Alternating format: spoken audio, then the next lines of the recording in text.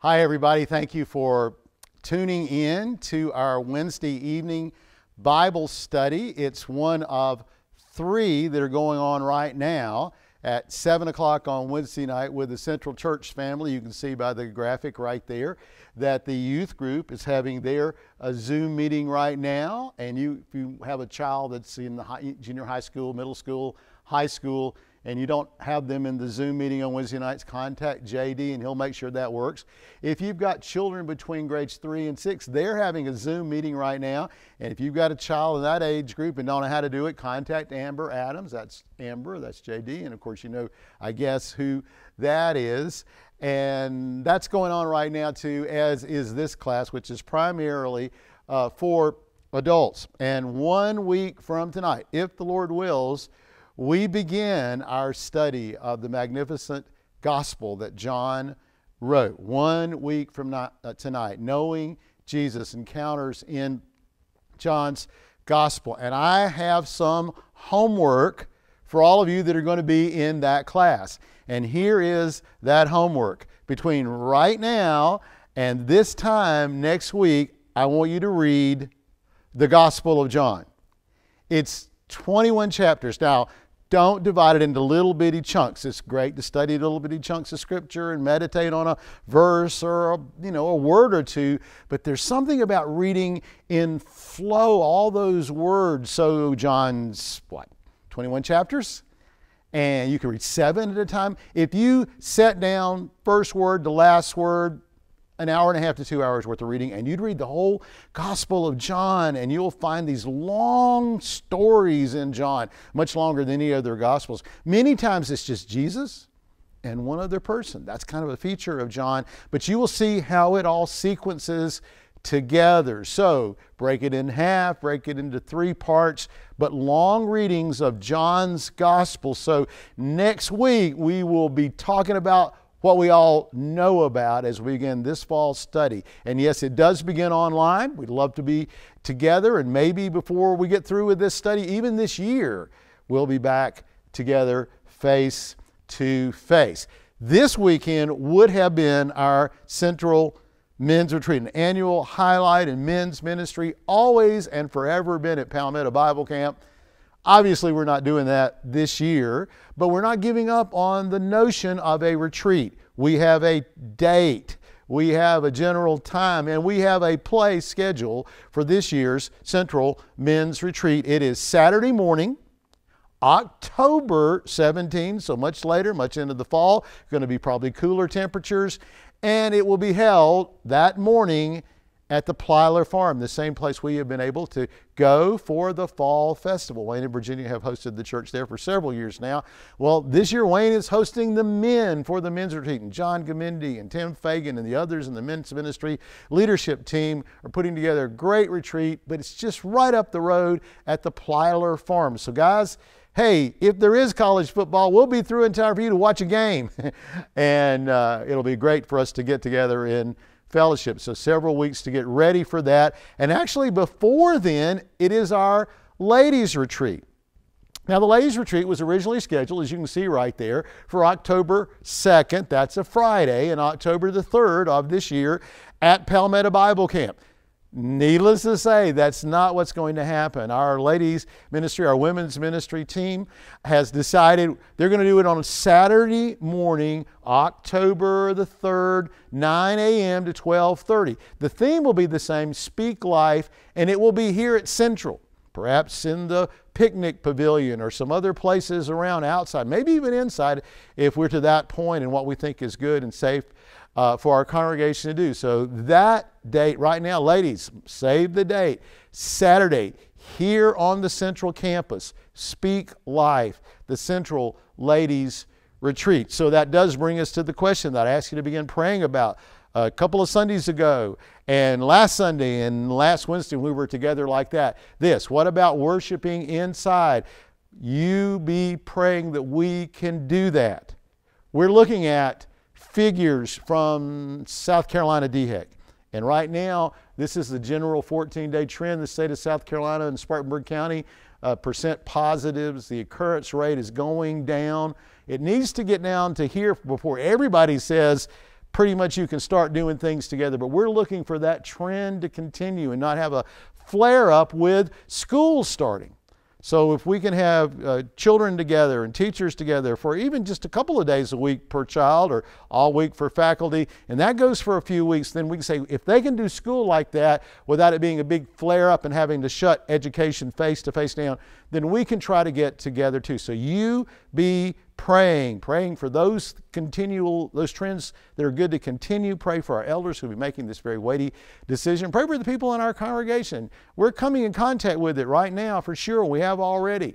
Uh, no doubt there have been people in our congregation that have just in the last few days come in contact with it. We don't want anybody to get this disease. We don't want anybody to get the complications that come from having that disease. We want everybody to be healed. We want everybody to be protected. We want to find medical cures. We want God to come in and work a miracle to take care of this. You pray for all of those things because one of the great effects of that kind of trend, we'll be able to slowly and I think hopefully wisely, with good decision making, get back together inside. But our outside worship is still going good. We had a great crowd this past week, and of course, we are still available online. Last Sunday, both online at 10 and outside at 9, we began a three part series called Living for Christ in an Age of Rage. How can God help His people, that's you and me, and a whole bunch of other Christians, in a time where there's so much anger? And we began looking at it last week. Well, this Sunday is lesson two. Invite your friends. Easy ask. YouTube, 10 o'clock, Central Church of Christ, Spartanburg web channel, or to our webpage, spartanburgchurch.org. Or better yet, come at 9 o'clock. the weather's been great. The fellowship's been great. The singing has been great. It's good to be together, and we will study that. This is the second week of that, which leads us to tonight. Um, we're not doing any new material, but I wanted to find something that would be a good companion to our series of Sunday sermons, Living for Christ in an Age of Rage. And last spring, in our study of grace, we looked at anger and forgiveness in an episode from the life of King David. Maybe you'll remember it, maybe you don't. It'll be good for us to review all that's taught in the scriptures about forgiving people that have hurt us and dealing with anger and the positives of dealing with anger in a godly way. So you watch the next uh, 33 minutes, I think the lesson is, and think of that in context of what we're studying on Sunday mornings because church needs to be different. The church, there needs to be separation. There's one sermon title I saw, The Separation of Church and Hate. And we can be big on that by learning to be peacemakers like Christ is a peacemaker and not give in to the addictive behavior of anger and the things that come from that. So thank you for tuning in. Be praying about all that. And now, anger and forgiveness. Thank you very much for tuning in. Well, it was uh, Geoffrey Chaucer who's credited with saying that all good things must come to an end. I don't know if he knew about the sermon series on grace. It does come to an end today. But I do know one thing he didn't know about, and that is God's grace. Because Lamentation tells us that the faithful love of the Lord never ceases. His mercies, His grace to us, they never, ever cease. And that's why God's mercy to you, to me, to anybody it's bigger than any mistake we've made or, or all the mistakes we've made together, the things we've done, oh, we wish we hadn't have done, the things we wish nobody knew about, the things that make us cringe when we think about God is still reaching out with His grace for us to remove both the guilt and the shame. And not only the mistakes, though, all the sins, every sin. No matter what you've done, no matter what I've done, God's grace is still reaching out to us to forgive us and to take us into a deeper relationship with Him. And so, our formula for this series is just so true. God's grace is greater than whatever has happened to us or whatever we've made happen to others. But Jesus says, here's another formula it's even better to give than to receive. So, as magnificent as receiving God's grace is, and oh, is it wonderful. Jesus would tell us it is even greater once you receive God's grace to turn around and give God's grace to others. That's even greater. But when will we give others God's grace? Well, same time that God gives us grace. When they make mistakes, when they sin, when they even sin against us, it's even greater to give God's grace than to receive it when we've made mistakes, when we have sinned. And so we prayed, forgive us our trespasses, our debts, our sins, as we forgive those who trespass against us. There's a link. And here it is the heart that will not offer forgiveness is the heart that will not receive forgiveness. And so we've received so much grace. What are we to do with God's grace? Well, last week we had a challenging answer. We show grace based compassion to those in need. It's not based on how they ask for it or how they respond to it. We give compassion based on how much compassion God has given to us. And that is a challenge. But here's the harder one, and it's today's lesson. You know what we do with God's grace? We respond by showing grace based forgiveness to others. It's not based on what they did or didn't do what they asked or didn't ask for. It's based on how much God has forgiven us. But here's a caveat it also means as we forgive, grace based forgiveness, we forgive, it keeps resentment from taking up residence in our heart. This is our theme verse for the study. See to it that no one, not you, not me, not anybody, misses out on God's grace. Don't you miss getting God's grace into your life. Let's not miss getting God's grace into others' lives. But once we receive it, let's not miss showing God's grace to others. Why? Because if I don't show God's grace or get God's grace, my life's going to be filled with trouble and my relationship with God is going to be defiled by sin. Because if I don't receive the grace and turn around and show the grace, I'm going to let a root of resentment grow up in my heart. There's clearly connection. If I don't turn around and give God's grace to others, that root of resentment is going to grow up. Bitterness is going to be in my heart. You know what the cure is? You want to cut off that root? Just keep reminding yourself. I remind me of just how much grace I have received. But, you know, is that the normal way we respond? I mean, uh, somebody leaves you, they won't do anything talk about reconciling the marriage. Do you, by nature, feel grace or resentment? Somebody, uh, you hire somebody in your business, maybe even a family member, and behind your back, of course, they, they scheme and they embezzle big bucks from your business. Is it natural to feel grace or, or resentment? There's an inheritance. One of your relatives cheated you out of an inheritance that was rightly yours. Do you, by nature, feel grace?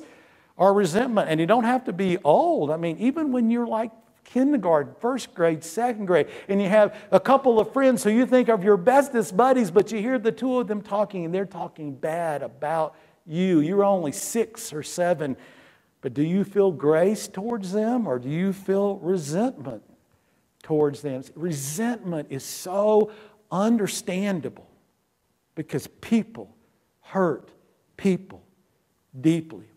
But here's the warning label resentment is lethal. It'll kill us emotionally.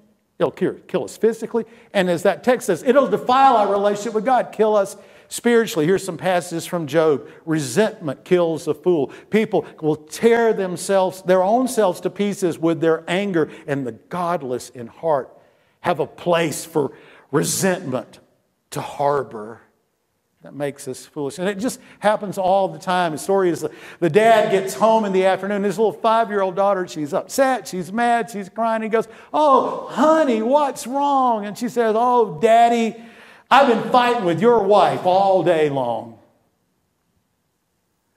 It's common sense, holding on to anger is like grasping a hot coal with the intent of throwing at someone when, as you hold on to it, you're the one getting burned. Or holding on to anger is like holding on to an anchor and jumping into the sea. If you don't let it go, who's going to drown? You're going to drown. And drown. And there's this one.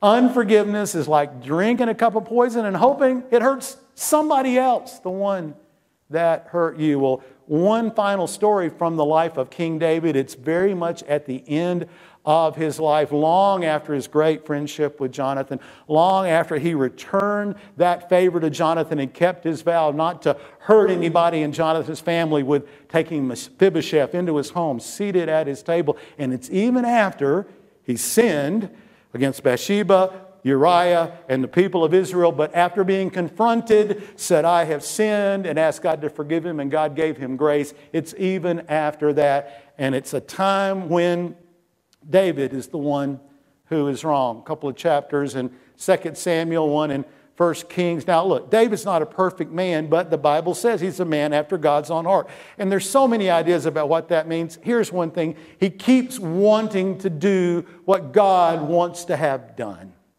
He keeps wanting that, even when he messes up. So, he, yes, is an example of what not to do, but in today's lesson, by and large, he's really an example of what to do when you're wrong. Three different scenes with a man, and I'm going to call him Shimei. I don't know how to say his name. And boy, does he try to. And yeah, I think he hurts David's. But David, David's heart. But David prayed, renew your spirit within me. Don't take your Holy Spirit from me. And I think we'll see God's Spirit creating in David a spirit of grace. And he's going to teach us to do what we prayed in the Lord's Prayer.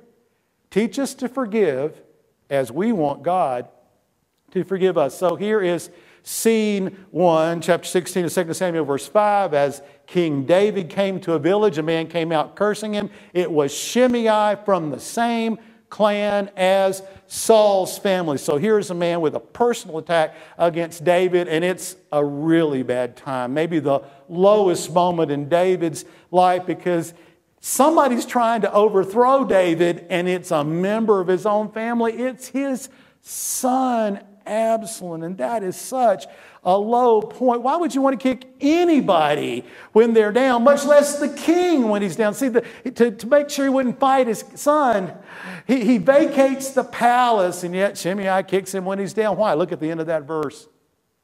Because Saul used to be the king. God took the kingdom away from Saul. This man used to be royalty, now he's just a commoner.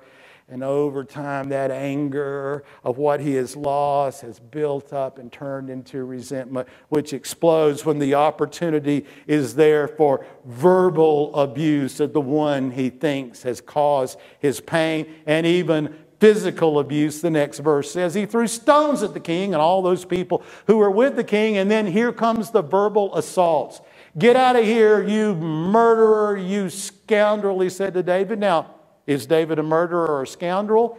Yes. He killed Uriah the Hittite, Bathsheba's husband. Is he a scoundrel? Yeah, he tried to cover it up, but I don't think Shimei knows it. And I know that's not what Shimei has in mind. Here's Shimei's accusations. The Lord's paying you back, David, for all the bloodshed in Saul's clan. You stole his throne, and now the Lord's given it to your son Absalom. Is any of that true? Well, what about the bloodshed? No, he didn't kill anybody in Saul's family. Quite the opposite. He let Mephibosheth come in and have a seat at his table. Did he steal the throne? No, God gave the throne to David. Samuel anointed David, but even then, he, David waited till Saul was killed in battle. All those accusations are wrong. And here's the deal when people are mad at you, they'll just make stuff up that fits their narrative. But here's a key word at last, Shimei said, You're going to taste your own medicine. It's built up.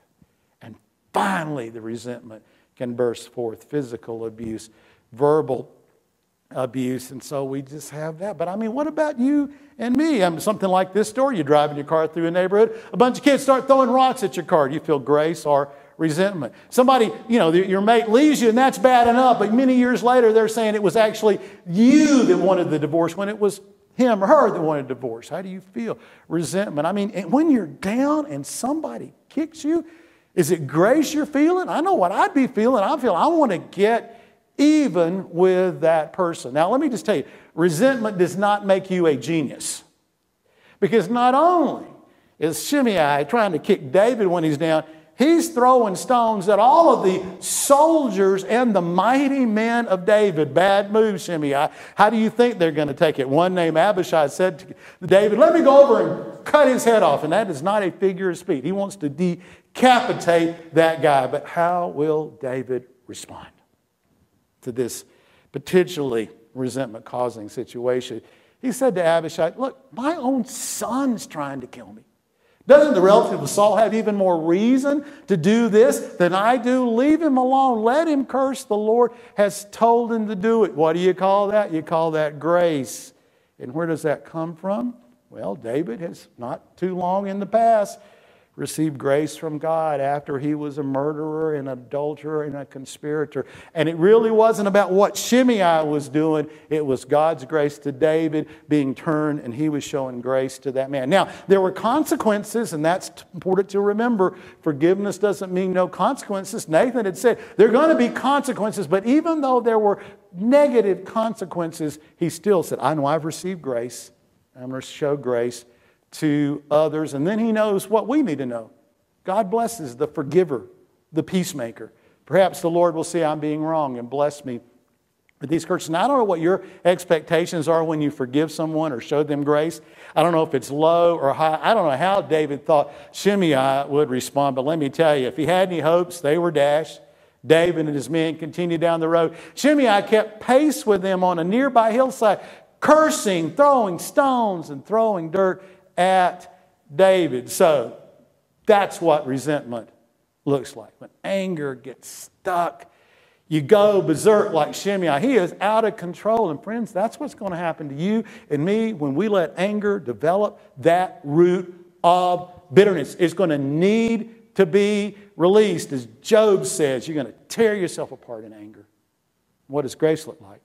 Looks like David putting his head down, putting one foot in front of another, and walking away from the conflict. That's scene one of three. Here's scene two. Well, David's army makes short work of Absalom's army, or put it in other words, Shimei's worst nightmare. So Shimei gets the word. He hurries across the river to Judah to welcome King David and bows down before him. Now, in the Bible, this scene takes place at a river. I couldn't find a picture like that, so y'all just pretend this is at a river. But Shimei does bow down to David. And here's my question do you think Shimei is sincere in his apology?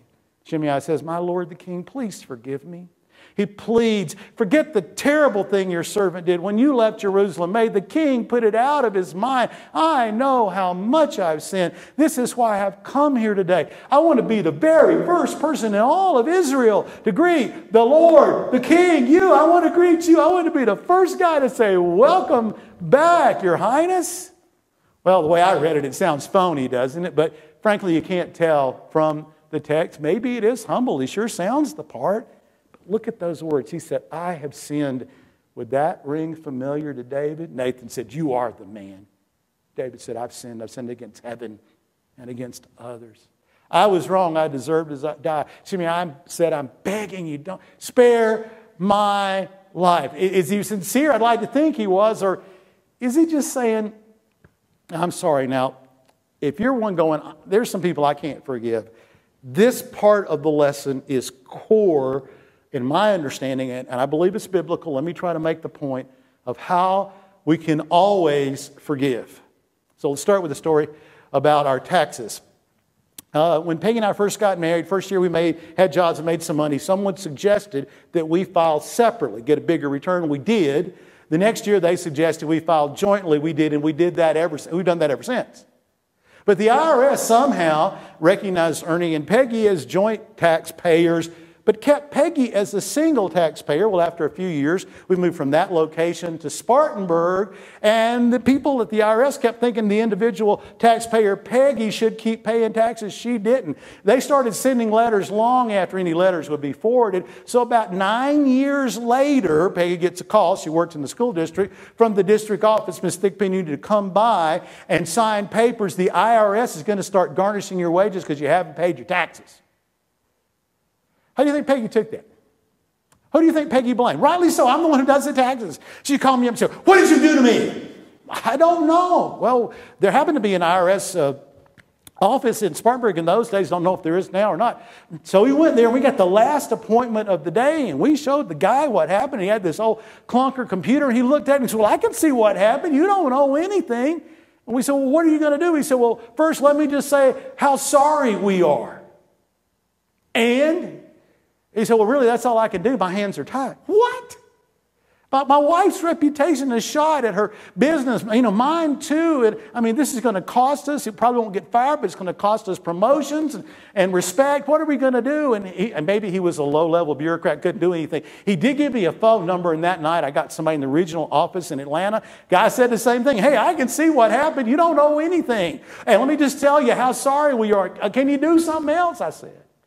Well, eventually they wrote us a really nice letter to Peggy's employer and to us, and, and we were exonerated. But I want to tell you, them saying sorry wasn't enough, and sometimes saying sorry isn't enough. Now, Henry Cloud is the one who wrote the series of book called, books called Boundaries. Recommend them. Really good uh, counseling, Christian worldview. He says the following Sorry does not equal restored trust. Somebody hurts us, do we still trust them? Sorry, no, sorry means forgiveness. They say we're sorry, we're supposed to forgive. But what brings trust?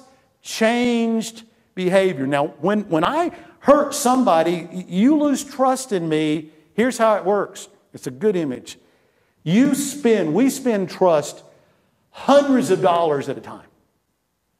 We got to earn it all back. And you know what? You kind of earn it back just a dollar at a time. So saying you forgive somebody doesn't mean you're quickly restored right to where you are. Because frankly, when you've been wronged and then somebody says, Well, you know, I was wrong, I'm sorry, that doesn't seem to balance the scales. Now, here it is.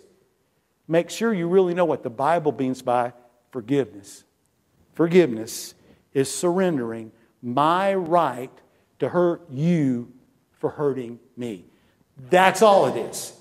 It doesn't mean what they did wasn't wrong. It doesn't mean what they did they're no longer accountable for. It doesn't mean that somehow it's as if it never happened. It just means that hurt me. And I want to strike back at you, but I'm forgiving you. I'm surrendering my right to hurt you for hurting me. Now, the advisors to David, they have no thought of David doing that. They say, kill him. He should die for cursing you. And listen, when you're hurt and somebody who's been hurt in a similar way finds out about it, you're going to get some advice. Be very careful to whom you listen. The Bible says the counsels of the wicked are deceitful. Now, in my experience, and I've been doing this for a long time, when somebody has a really bad situation, when they're hurt, and then they see somebody else is hurt, and they come to, they become what I call an evangelist for how they handle it or how they wish they'd handle it. And sometimes they will tell you what the Bible tells you and God will tell you, and sometimes they won't. And because it didn't work out for them, they're going to try to work it out through you and your situation, and you will get ungodly advice like you hold on to that grudge, or don't get mad, get even, or don't speak to them, or sometimes they'll get you to try to take it to the next level. You need to get a lawyer. You need to file for divorce. You need to sue their pants off. Now, Scripture does make a provision for divorce, but it is always the last option, never the first. And you, there's even ways that you have, if you sometimes have to go to court. I'm going to tell you a story about when I had to go to court later in the, in the talk. But it is never the first thing. As much as possible, live at peace with all people. Be very careful to whom you listen. You know, you need to listen to, listen to God. Psalm 119, your testimonies not only are my joy, they're my counselors. And here's God's counsel forgive as the Lord forgave you. Well, when? When do I forgive?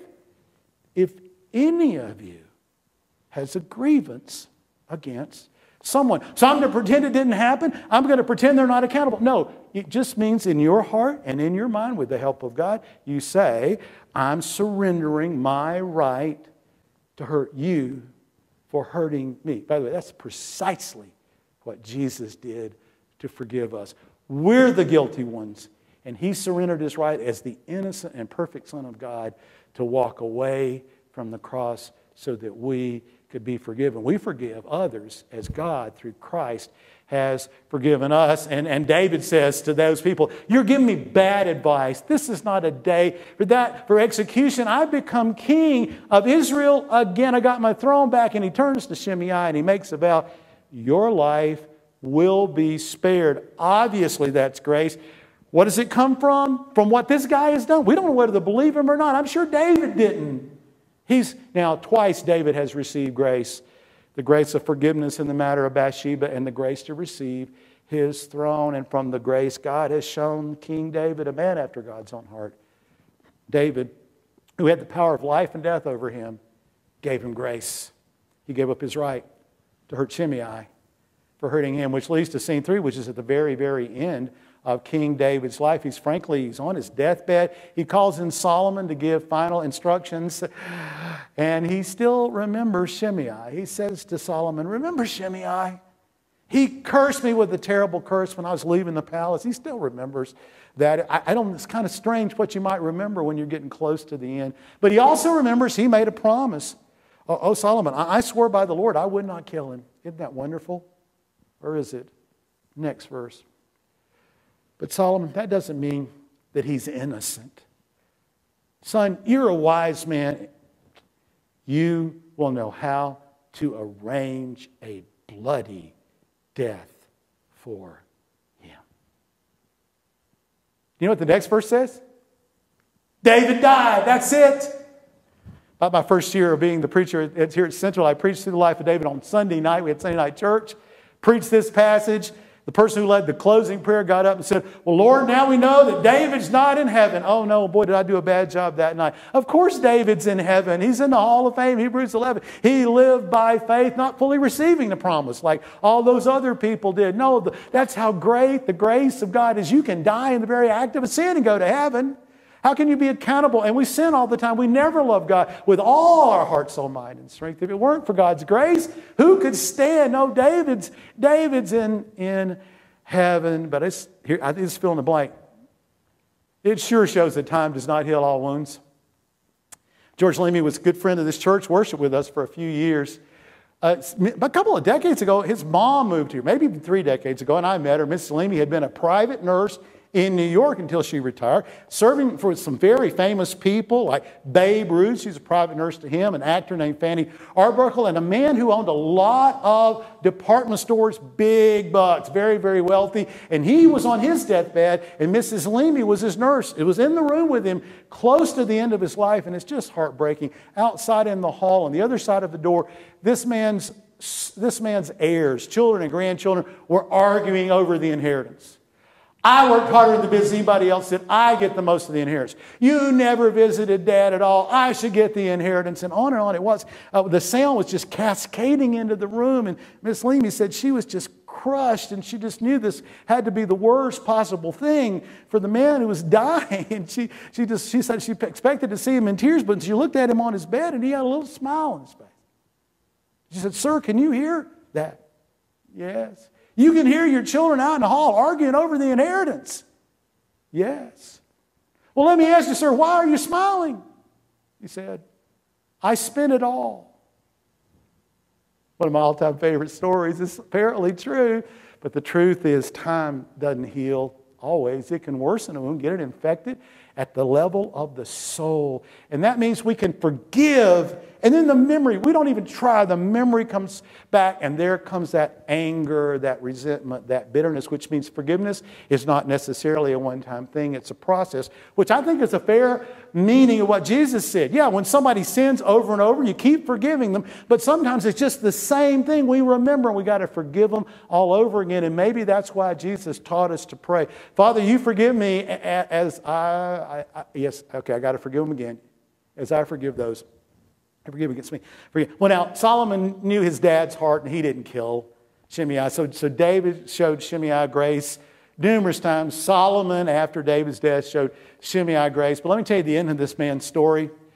Uh, Solomon put him in house arrest. You're not to leave under severe penalty. But Shimei had a couple of servants that wanted their freedom and they ran away. And Shimei was so angry. Once again, he went berserk, got on his horse, and ran out to try to capture him, broke his house arrest, and the army of Solomon hunted him down and killed him. And it really reminds me of the story of the unforgiving servant that Jesus told. A man forgiven much wouldn't forgive somebody that owed him a little. Let me give you seven practical ways to, to live this forgiveness thing. First off, let's not be so easily hurt, not so easily offended, where the slightest little thing sets us off like we're some kind of, of you know, major hurricane or major erupting volcano. I mean, hey, I saw you the other day and I waved at you, but you didn't wave back at me. I'm hurt by that. Or, or, or you forgot my name, or, or worse, you misspell my name, or, or even worse, I sneezed and you didn't say God bless you. I mean, what do we say? Don't wear your on your Meaning what? What does that figure of speech mean? Don't be so, don't hold your emotions out there. Don't be so easily hurt. And one reason is when we hold on to hurts, they kind of pile up and leads to that root of bitterness coming up in our lives. Ecclesiastes says, Be not quick in your spirit to become angry, because anger lodges, makes a home in the heart of people who will live their lives foolishly. Here's the second one let people be less than perfect, no one righteous, not even one. Both Old and New Testament say that. Jesus was. None of the rest of us are. So be careful about holding people to too ridiculously high a standard, putting them on a pedestal. In that mega bestseller, Don't Sweat the Small Stuff, from, I don't know, some decades ago, there's the story of a man, and he got married, and pretty soon after the wedding, he and his wife went to a party, and he saw her doing some things with a fellow that he took to be flirting. And it so bothered him, and he lost sleep, and, and it just kind of boiled over. So eventually, he called. I don't know if we still have these things, but the radio call in shows that give relationship advice. And and he said to the, the counselor, he was a guy, he said, I just don't even know if I can trust her. And he told about the, the flirting thing. And so the counselor said, Well, has she given any indication she's been unfaithful? Well, no, not that. Has you, have you ever seen her look like she's flirting again? Well, no, I haven't. He said, Well, sir, how long ago was this party? And the guy said, Five years ago, but I still don't know if I can trust her. He'd held her on such an impossible pedestal of perfection, just a little slight stuck with him in a root of bitterness that come. I mean, if you, if you want to have a long time friendship, you got to have a very short memory. You got to let people, you know, be less than perfect. And the love chapter, 1 Corinthians 13 says, love keeps no record of wrong. So if you forgive it, take it, put it in the past, and leave it in the past. And if your go-to line in an argument with somebody is, I got a list of things you've done wrong. Well, let me just tell you, the Bible says you do not love that person. Ask God to help you remove that record keeping. Third, deal with the offense early. The specific uh, teaching of Jesus in the Sermon on the Mount is about lawsuits. Settle with your opponent quickly. Why? Because you don't know how the judge is going to be or the jury is going to be. Sometimes you can't. It takes two parties to do that. But that principle also goes into relationships. But we've developed all, ter- all kinds of figures of speech of talking about things that we can't, can't let go. We say, that really stuck in my craw. That's an image from a bird that gets food stuck in its throat or stomach and can't digest it. It's, it's, six months it's been stuck in my craw, or, or it's just really hard to swallow. Or sometimes we'll just literally say, Man, I will never get over that. But the Bible says, you know, don't, don't you, can, you can do anger slowly, but not sin. Be angry, don't sin. And here's one of the key ways don't let the sun go down on your wrath. See, the longer wrath or anger stays, the more likely bitterness grows, which spawns sin, abuse, all lying, deceit. We, we've seen it all in the life of Shimei. Here's the fourth one. Un- understand that forgiving others is for our own good. But when somebody hurts us, it feels like finally I got the upper hand here. Uh, they, they owe me, but science has said for a long time, and I've got an article here from Neo, NeuroCore uh, magazine, that holding grudges can shorten your life. A study from Emory University found that bitter people had higher blood pressure, and they were more likely to die from heart disease than more forgiving people. This could be due to something called a C reactive protein, which has been linked to heart disease and stroke. Here's how it happens when we experience negative feelings brought on by conflict, our bodies get ready to fight. Well, here's the deal staying in that fight state for an extended period of time can increase the amount of C reactive protein in our bloodstreams, potentially increase the, increasing the likelihood of heart disease. On top of that, prolonged feelings of resentment can also negatively impact metabolism, immune response, and organ function. Those feelings put us also at higher risk of developing depression and anxiety. We're forgiving. If nothing else, it's good for us physically. And the Bible will say the same thing. We know this wonderful passage from Philippians. Don't be anxious about anything, but pray about everything. And the peace of God, which surpasses human understanding, guards our hearts, our feelings, our minds, our thoughts in Christ Jesus. And there's a link to forgiveness. Don't, don't worry, but pray and you get God's peace. And Jesus will say, whenever you pray. Now, when I'm going to pray, well, I'm worried, no, I'm going to pray. Well, here's what you do, Jesus says, whenever you stand praying, forgive. Who? If you have anything against anyone.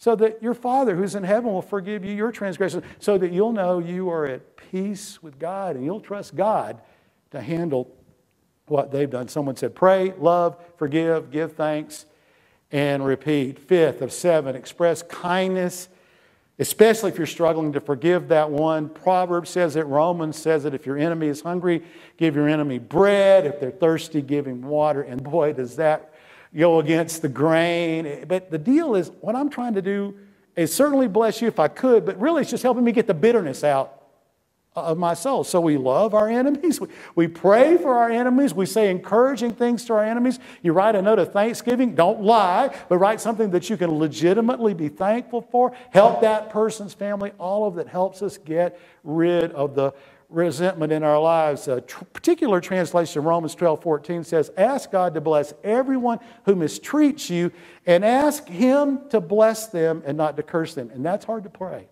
Oh, Lord, that person really bothered me bless them, don't curse them. But that's a very unusual rendering of Romans 12 14. Here's the more common one You and I bless those who are causing us trouble. We bless them and do not curse them. And when we bless, pray for, forgive, and love those who are bringing trouble in our lives, that puts us in really good company. Here are the last two. And if you only remember two, remember these two because I do think they're the most practically helpful. Remember how much we each have been forgiven, and we need to stay off the judgment seat and get on the mercy seat. Let's deal with that latter one first. And you know, I'll tell you there's a story about me having to having to go to court. Well, there's a place right there where I had a wreck. At that intersection right there, in western uh, Spartanburg County. I was driving on the main road. You can see there some uh, fellow came out of the side road in his pickup truck. It, he was going pretty slow, but he hit me anyway. In fact, nobody's airbags came out, but it pretty much totally did. It totaled my, uh, my old car. And nobody was hurt, and I was grateful about that for that. And he, and he, seemed like a nice enough fellow, only to find out it seemed like everything was going okay in his life except for the wreck. But he didn't have any insurance. And he wouldn't pay, and there's nothing I could do to get him to pay for my car, which was totaled. So even though I didn't want to, got some advice, and I had to take him to court, and I took him to court, the courtroom about like that, and eventually we got our court date, and we came in, judge sat down, and, uh, I didn't have a lawyer, he didn't have a lawyer. I figured I could tell the story. Policeman was there, highway patrol. And so I said, Mr. Thigpen, tell your side of the story. I did. Gentlemen, you tell your side of the story. He had nothing, especially when the policeman read the thing. And, and then this happened, and it was, it was very, very memorable. And I even have a souvenir of the day. The judge said, excuse me while I step off camera, he said, Mr. Thigpen, come up to, come up to the bench. And he took off his robe, and this is it, and he handed me the robe. And he said, Now, you put my judge's robe on you. Really? Yeah, so I did. And he handed me his gavel. He said, Here, I want you to hold the gavel. And he moved away from his judge's seat behind the bench and said, Here, Mr. Thigpen, you sit, sit down here in my seat. So there I was in his seat with his gavel, wearing his robe. And he said, Now, Mr. Thigpen, based on what I've heard today, you're definitely been wronged. You get to be the judge. And whatever you say, this guy has to do to make it up to you. Now, friends, that was a good day for me. now, let me ask you how many of you are buying that story? I did have a wreck at that place right there. But why? No, no self respecting judge would do that. Nobody, nobody thinks in any kind of fair system of jurisprudence that the people get to make the decision. The judge is the judge, and the ones, the victims or whatever, are the victims. And that's why we have laws and things like that. And sometimes it's more than just a little wreck. This is just this last week. It's these three teenagers out in California doing this thing, and they shouldn't have been running up to people's houses, ringing the doorbell and then running away. And everybody, you know, whatever. But one guy just made him so mad. They're like 15 and 16 years old. They'd hop in the car, and this guy just made him so mad. He saw them leaving their little car. He got in his car and he chased them. This is true now. Got, chased them, chased them. Finally, rear ended them, knocked them off the road. They went into a ditch, turned over and hit something, and all three boys are dead. It really happened. You can look it up. But notice the parents of California boys killed forgive the suspect. Here are some quotes from the People magazine article. Although the families seek justice, Each of the mourning parents forgive the suspect. Here, it's one of them. Jacob, that's one of the young men who died. His mother, Ramona, said her son would want her to forgive him. He would say, Mom, you have to forgive him. You have to because unforgiveness does not bring any closure. That's the forgiveness is good for the forgiver argument, and it's sound. But on top of that, there's this one. Forgiveness is what we believe, citing religious faith. I'm, i would feel it's Christian faith. Because of what God has forgiven us, we forgive others. And then, more than anything else, the families want to honor their sons' lives. And what a great way to honor them by taking the higher road and forgiving. Will it be easy? No. Will there be pain? Yes. But there'll be more pain if they hang on to the resentment. That's why God says, don't take revenge. Leave room for God's, right, for God's wrath. See, if I insist on getting revenge, here's what I'm saying. See, if somebody hurts me or hurts you, there's only two ways that sin will be paid for. They will take that sin into eternity and pay for it in eternal judgment forever, being separated from God, all that comes with that. Or they'll enter eternity in Christ, and Christ's death on the cross will pay for it. But when I say, nope, I'm going to get vengeance, I'm saying neither hell nor the death of Jesus on the cross is enough payment for what happened to me. No, no, no. There's only one worthy of wearing the judge's robe, and it's the one who died for us. God says, It's written, trust me, I'll avenge.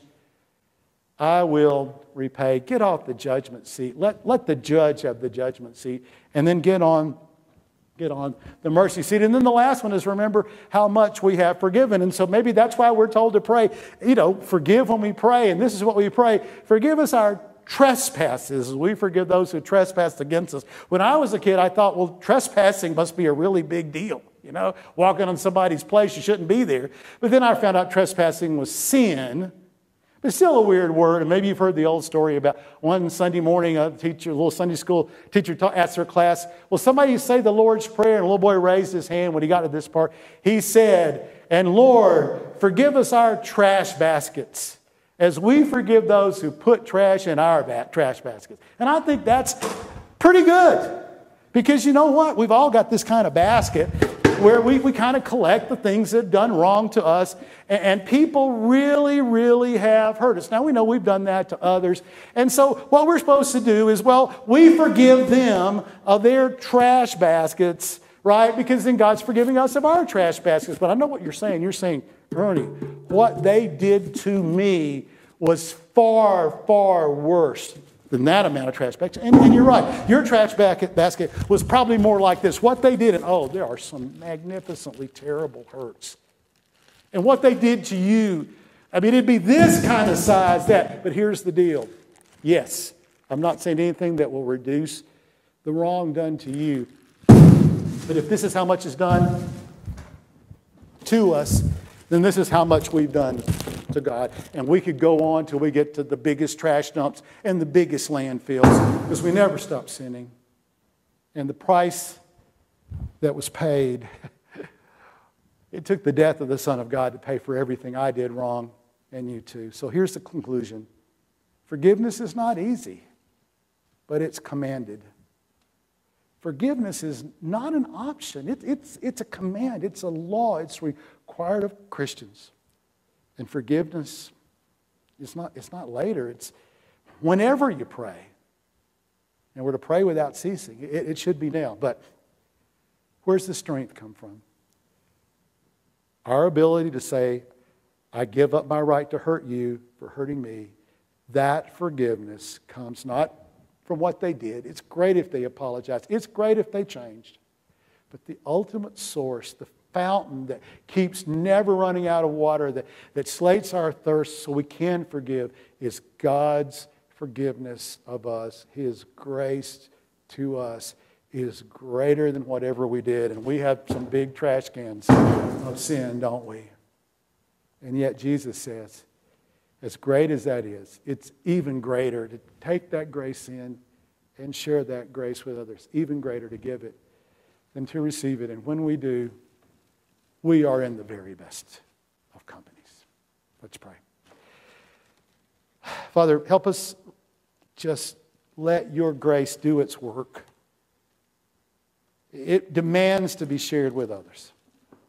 The grace of the plan of salvation, the good news of Jesus, and the grace to forgive others, to give up our right to retaliate. Thank you for forgiving us, and thank you for giving us the strength to forgive others. For any pain or hurt this sermon has brought to the surface, send your healing Holy Spirit, the Comforter. And may we remember the price that was paid to forgive us. Thank you, Father. Thank you, Son. And thank you, Spirit, for being in us to give us the strength to live a life for Christ, in whose name we pray. Amen. You want that forgiveness in your life, got to be linked with that death, burial, and resurrection through faith. Call us, we'll help you. We'll help you do that. Reach out to one of your Christian friends. Call up somebody in your life group if this is a tough one for you and ask them just to pray for you about today's lesson. Let's not let any root of bitterness come up in us. Let's be people who show grace because we've been shown so much grace. We'll close by singing a song about that great love which never ceases.